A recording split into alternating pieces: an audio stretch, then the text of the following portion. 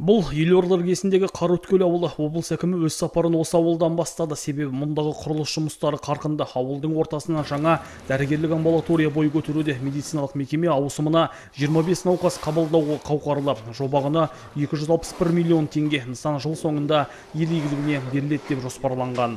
До этого у нас э, было осыған дейін жергілікті тұрғындар ескі медициналық мекемеге жүгінген. Ол ғимараттың іргетасы 1964 жылы қаланған. Аталмыш нысан ешқандай санитарлық нормаларға сәйкес келмейді. Сондықтан біз жаңа ғимарат салуды ұйғардық.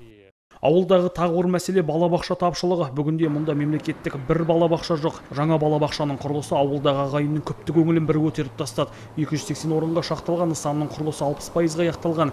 Келер жылы іске қосылмақ. Сондай ақ ауылда жаңа спорт алаңы салынып жатыр. Бүгінде орын белгіленіп бірер күнде құрылыс басталмақ. Қараөткелдік қарашаның тағы бір мәселесі жол еді. Енді бұл мәселеде өз шешімін таппақ. Ауылдағы 89 көше күрделі жөндеуден өтуде.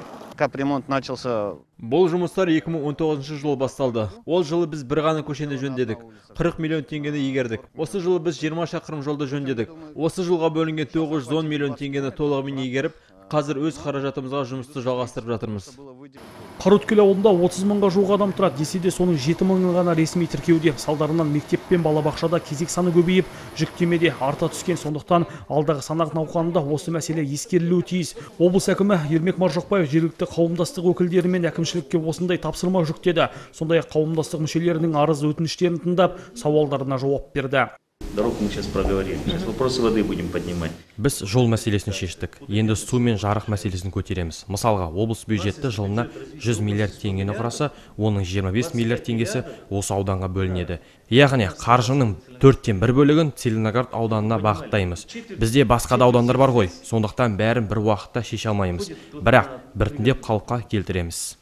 Өңірдегі үш ауысымдық мәселенің дені осы целиноград ауданының еншісінде халық көп балаларға мектеп жоқ осы мақсатта салынып жатқан оразақ ауылындағы білім ошағы 120 орынға шақталған жоба құны 1 миллиард теңге қаржы уақытылы бөлінсе де құрылыс жұмыстары тұралап қалған әкім мердігерлердің жұмысын сынға алды Қанша адам жұмыс істеп жатыр? 32 32 адам. Ну, аздау, конечно, үлкен мектепке.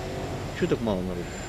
Өңір басшысы сапар соңында өтеміс ауылындағы білім ошағына барды. Былтыр мектеп жұмыспен қамтудың жол картасы бағдарламасы аясында күрделі жөндеуден өткен қазіргі таңда мұнда 300-ден астам оқушы білім алады. Ермек боранбайұлы мектептің техникалық базасын тексеріп ұстаздар қауымына шығармашылық табыс тілеп тарқасты. Абзал азаматұлы медет қайыркенов алмас садуақасов көкші ақпарат